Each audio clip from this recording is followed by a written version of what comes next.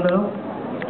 Cuki vörös kisfiú ült otthon, nyomkodta a távirányítót a tévén, és mindig kereste azt a bácsit, akinek ilyen hosszú göndör haja van, szép fekete ruhája, fehér zoknival, akkor még volt orra is, és fantasztikusan táncolt és énekelt. És a kicsi vörös kisfiú azt mondta, hogy ő is így akar táncolni és énekelni, föláll, kipróbálta, nem sikerült, úgyhogy aztán újra megpróbálta, aztán még egyszer megpróbálta.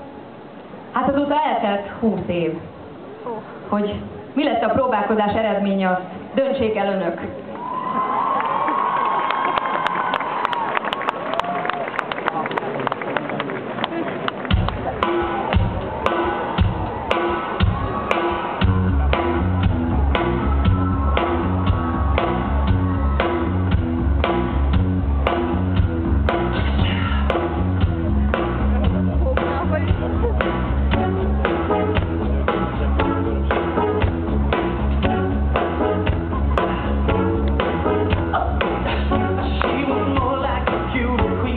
I'm